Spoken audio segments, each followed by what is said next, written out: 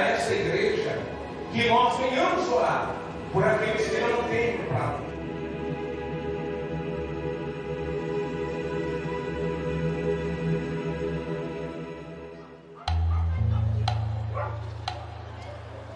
El hambre, un fantasma del pasado que vuelve a atormentar Brasil. Los residentes de este vecindario en las afueras de Sao Paulo apenas tienen que comer.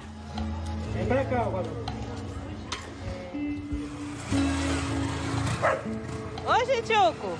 Ionara era limpiadora hasta que perdió el trabajo al principio de la pandemia.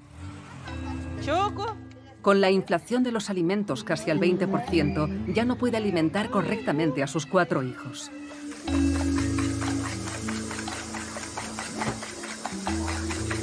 Pega sazão lá pra mim, Grace. Só um, só. Ah, Hoje ainda tem a linguiça, e às vezes é só o ovo mesmo. É dar graças a Deus pelo que tem mesmo. Hoy se van a dar un homenaje con productos frescos y todo, ya que Ionara ha hecho la compra del mes. Tá quente, pega com cuidado. La mayor parte de alimentos que prepara vienen de las cestas que le entrega a la Asociación de Vecinos. Solo contienen féculas. El precio del gas se ha duplicado en el último año. Fazer um ovo frito aqui para as crianças. E um restinho. Ionara es madre soltera. Vive con los 150 euros al mes de la pensión por discapacidad que recibe por su hija discapacitada. Apenas tiene para comprar leche, pañales y medicación. Vem, Téia, memé com a mamãe, vem. Eita, vem cá. Vou comer aqui que eu tô na fome do dragão. Adulto ele come muito? Uhum, É, toma fome de dragão. uhum. Do dia a dia aqui tá sendo que eles não gostam, eles detestam ovo. E aí eu- o que que eu faço? Um dia eu faço cozido, outro dia eu faço frito. Aí eu inventei agora o ovo no molho, né? Eles querem como se fosse a carne, né? E a fome não é só ter o que comer, mas e a infância deles também? Eles vão crescer uma criança sem infância, sem, sem poder ir em uma lanchonete, tomar um sorvetinho, ou chamar um amiguinho, vem comer em casa, alguma coisinha assim. Por- Por às vezes ver as crianças com fome, né? E às vezes não ter a condição de dar o que eu dava e me sentir uma pessoa inútil. Ai, Vitória. Mas para eles eu não posso deixar faltar. De qualquer jeito eu tenho que pôr dentro de casa. Menos roubando, mas eu, nem que eu peço de porta em porta. Eu já fiz muito isso, de não ter e sair embaixo de sol, de chuva e pedir para as pessoas.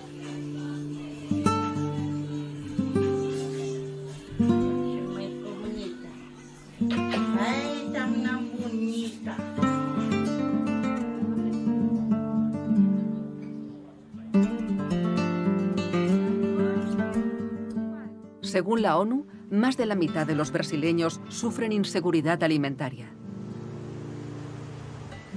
Solo tienen un acceso limitado o cuestionable a comidas equilibradas. Sin carne, unas pocas frutas y verduras, los brasileños pobres principalmente comen féculas y alimentos superprocesados. Sin embargo, Brasil había erradicado la hambruna gracias a los programas sociales puestos en marcha a principios del 2000. No obstante, en 2016 tuvo lugar una crisis económica. El gobierno de aquel momento recortó el presupuesto del sector público, lo que lanzó a Brasil de vuelta a una crisis alimentaria.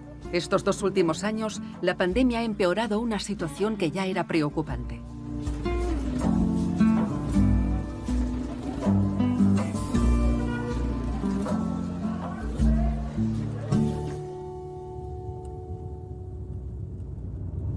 A 80 kilómetros de Sao Paulo, Lara se dirige a una clínica comunitaria. Es médico de familia. Cada día, docenas de pacientes pobres le cuentan lo que les cuesta alimentarse. Muita gente ficou desempregada e eles comem tipo que que tem na cesta básica. Muitas crianças vão para a escola para conseguir comer melhor. Tem mães que têm necessidade de colocar a criança na creche porque elas não trabalham, mas elas colocam para conseguir é, dar uma condição melhor, pelo menos de uma refeição por dia para a criança, que influenciam em toda a vida da pessoa, desde a obesidade, do do crescimento das crianças, desenvolvimento, da, da parte intelectual.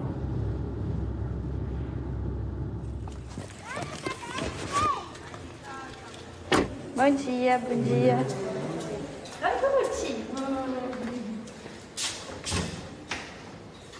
Anderson, pegar mais uma cadeira. É, você tem alguma queixa hoje? Não, queixa não, só no caso seria para fazer novos exames. Para repetir os exames, é, né? Abaixou, Deu. Né? Tá. Deu alterado colesterol, colesterol, triglicérides e tireoide. Eu cheguei a te dar aquela listinha de, dos alimentos? Deu. Para evitar? Como, tá. Você seguiu? Não tudo. Anderson ha tenido que adaptar su dieta a un salario que se ha reducido desde que empezó la pandemia. Al igual que él, su hija ha desarrollado problemas de salud en estos últimos meses. Tiene anemia. Os derivados que é a não é muito saudável, mas eu compro para dentro de casa, que é salsicha, linguiça, hambúrguer, hambúrguer de vez em quando. É, o problema não é o fato de deixar de comer carne, é substituir a carne por, por alimentos que não são saudáveis, né? Que é o que a gente vê observando. Ele substitui a carne, a proteína, por mais carboidrato ou então por embutidos, que são muito mais em conta e são cheios de gorduras saturadas, de corantes, conservantes, tá bom? Muito obrigado. Nada. Tá? Tchau, tudo de bom, viu? Tchau, tudo de bom. Obrigada, gente. A gente não vê mais magreza aqui. Aqui é muito raro ver uma pessoa subnutrida. Você faz o IMC, o IMC dá de subnutrição. Isso não tem. Você vê um IMC, o IMC dá de obesidade, aí pelos exames você vê que a pessoa está em muita deficiência de nutrientes e vitaminas e tudo mais. E isso é uma forma de fome também? Sim, uma fome oculta, né?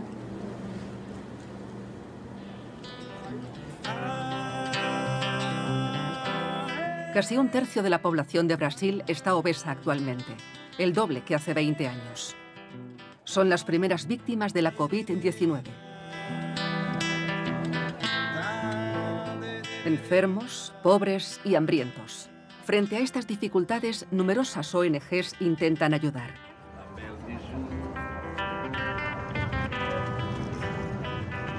Aí primeiro, tá, se você, você acha que você consegue colocar as 200 na sua, na sua caminhonete?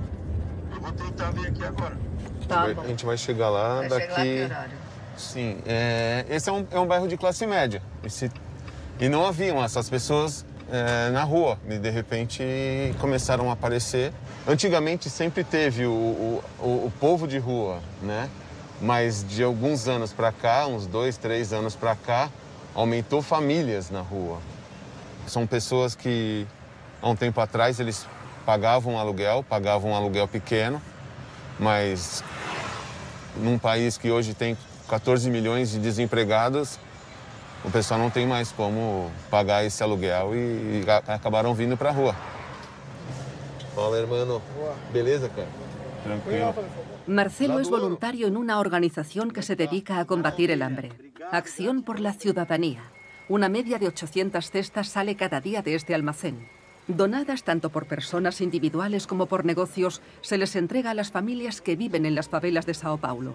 Beto, como que a gente vai fazer? Vou te entregando essa cesta, você vai colocando num canto depois a gente coloca o restante. Maravilha. De uma forma mais... Então vamos. Cesta básica normalmente tem arroz, feijão, óleo, fubá, é, macarrão, é, molho de macarrão.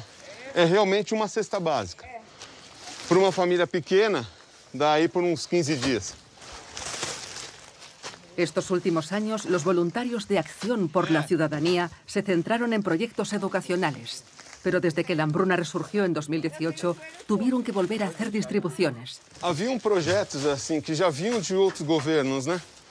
Que haviam alguns algum planejamento de projetos sociais.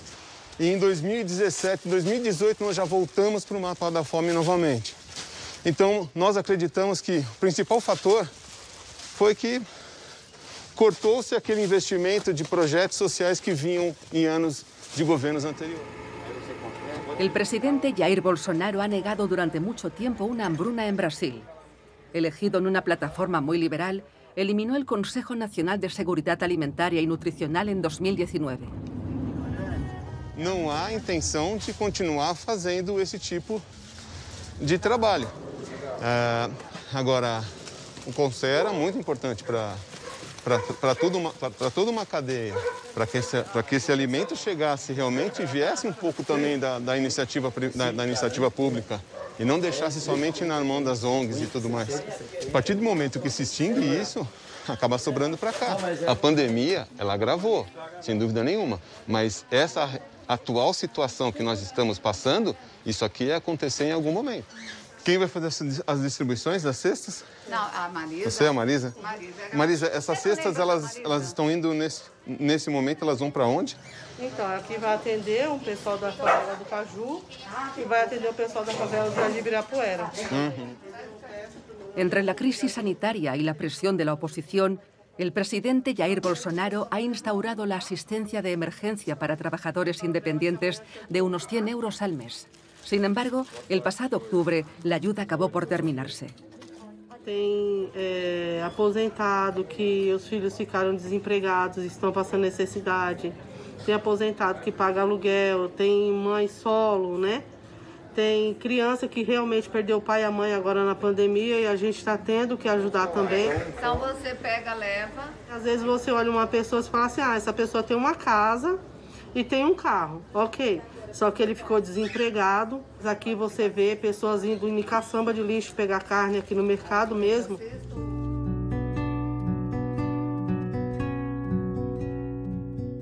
Este vídeo del pasado enero, grabado al norte del país, se hizo viral en las redes sociales de Brasil.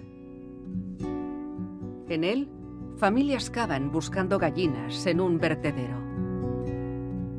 Ocurrió lo mismo en varias partes del país. Triste ver que tem pessoas que estão correndo atrás disso. É, é o declínio de uma sociedade. Quando você percebe que a gente saiu do mapa da fome, que isso é a alegria dele, ele trabalhava por esse final de semana e de repente você fala que o cara não tem mais isso. O cara está buscando osso.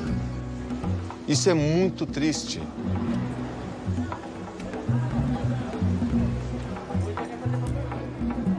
El poder permitirse comprar carne es el símbolo del ascenso social de la clase obrera. En cuanto estuvo en el poder, el expresidente Lula instauró un programa para combatir el hambre. Por eso defini, entre las prioridades de mi gobierno, un programa de seguridad alimentar que lleva el nombre de Fome Zero. un conjunto de políticas públicas colocadas bajo el símbolo de la Bolsa Familia, la cartera de la familia. Estos beneficios estaban destinados a familias pobres y dependían de la escolarización infantil.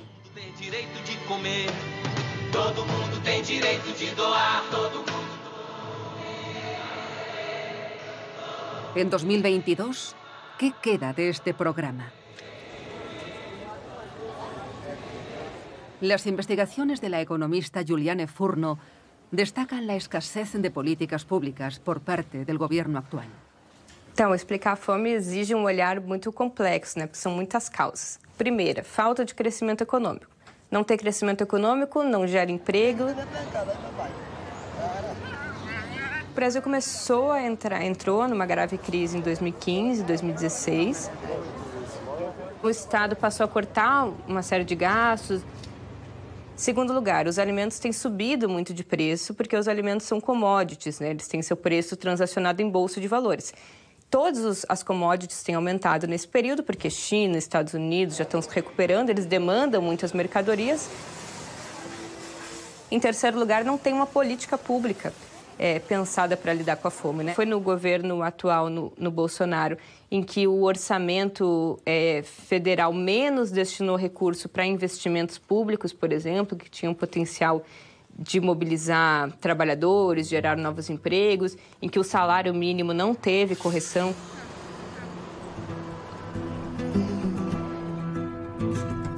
Por su parte, el presidente Jair Bolsonaro presume de haber instaurado políticas sociales para combatir la hambruna. Su última medida aumentó el plan de subsidio familiar que ya estaba instaurado, ahora conocido como Auxilio a Brasil. A ocho meses de las elecciones presidenciales, el ministro de Ciudadanía, Joao Roma, defiende esta política. A fome é uma realidade na nossa sociedade, uma sociedade ainda muito desigual. O Auxílio Brasil é o novo programa de transferência de renda do governo federal. Com o Auxílio Brasil, uma quantidade maior de brasileiros está, sendo, está tendo acesso a esse programa de transferência de renda. E com um ticket muito mais alto. O que antes era um ticket médio que girava em torno de 190 reais, hoje tem um ticket mínimo de 400 reais. Como é possível que tenham pessoas hoje em dia que não têm como comprar carne no maior no país, né, maior exportador de carne bovina? Sem o Auxílio Brasil, sem dúvida nenhuma, a situação estaria bem pior. O Auxílio Brasil mais do que dobrou o rendimento das famílias mais necessitadas. E é, sem dúvida nenhuma, uma importante ferramenta de transformação social. El aumento del subsidio familiar durará solamente hasta el fin de la legislatura de Jair Bolsonaro.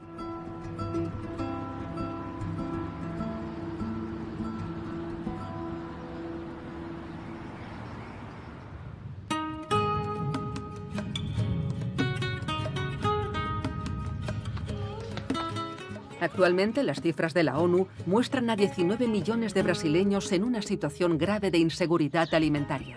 Una situación que es incluso más extrema en zonas rurales que en zonas urbanas. En el estado de Ceará, al noroeste de Brasil, la hambruna amenaza a los campesinos.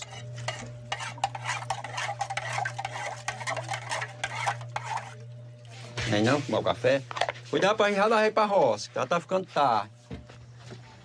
Botar puxando, né, neguinha? Tá no arreio, nos arreios.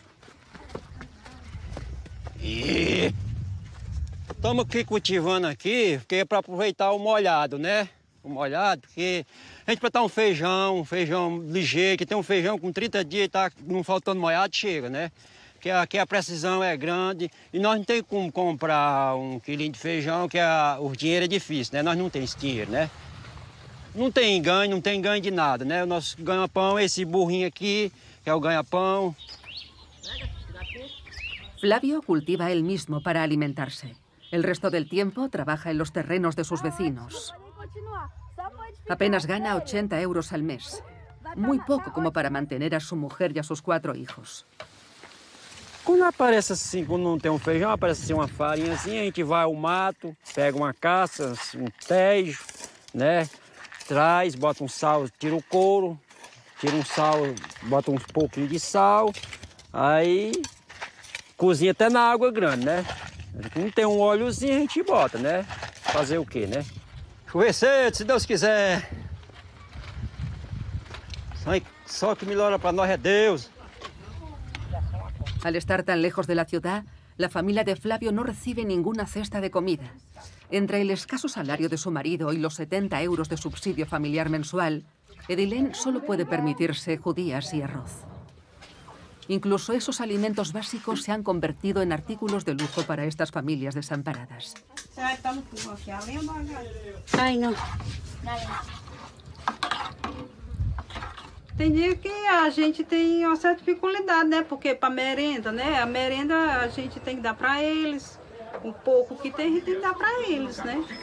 Porque a gente é, é grande, a gente já passa, né? Mas eles não.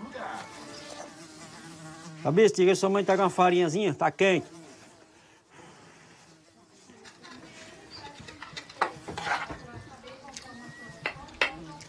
Quando era do tempo do Lula, né? E graças a Deus quem passou a mão por cima foi o Lula, né? Olhou para os pobres, né? Tinha um ganhozinho melhor, né? Ele mandou, mandava o Bolsa Família, né? O Vale Gás, tinha essas coisas, né? Aí a gente juntava tudo, aí dava, né? Pra gente passar melhor um pouco. Não é bem, né? né? Às vezes a gente comprava um, um, um quilinho de carne, né? De galinha, que carne de gado nós nem se fala. Tem dia, tem dia que eu já passei muitas noites, essa criançazinha chorando, com fome. Pai, eu tinha dó, chorava tanto ela como nem eu, né? Os dois choravam, né? Ah, meu Deus, o que é que eu faço, meu Deus, para essa criança chorando?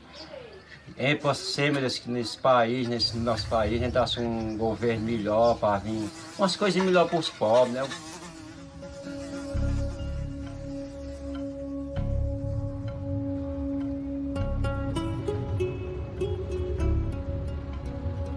En Fortaleza, la capital de Ceará, un artista visual ha decidido luchar para que se escuche el sufrimiento de estos campesinos. Marcía Piñeiro coloca esculturas de vacas demacradas en las calles de todo el país para dar voz a la vuelta de la hambruna. Ah, conheci a vaca magra, símbolo da fome, representa a fome no nosso país. que o nosso país está enfrentando hoje. Mas, é, faz parte.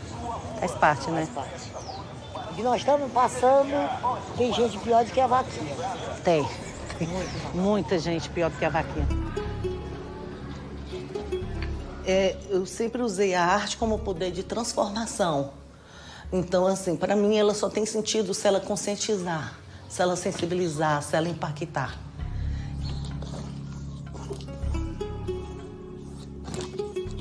El pasado diciembre, Marcía colocó una de sus obras en el distrito financiero de Sao Paulo.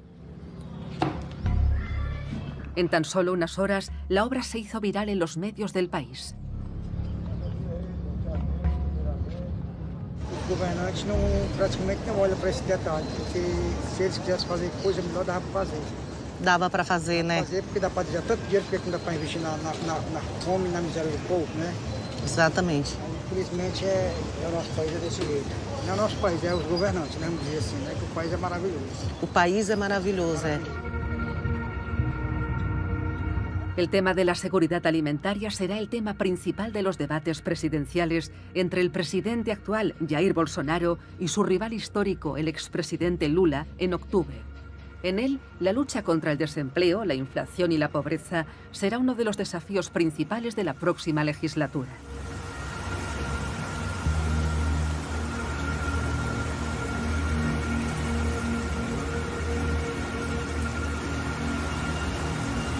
Hasta que se implanten políticas para defender a los campesinos de la hambruna, el cielo escucha sus plegarias para tener terrenos fértiles.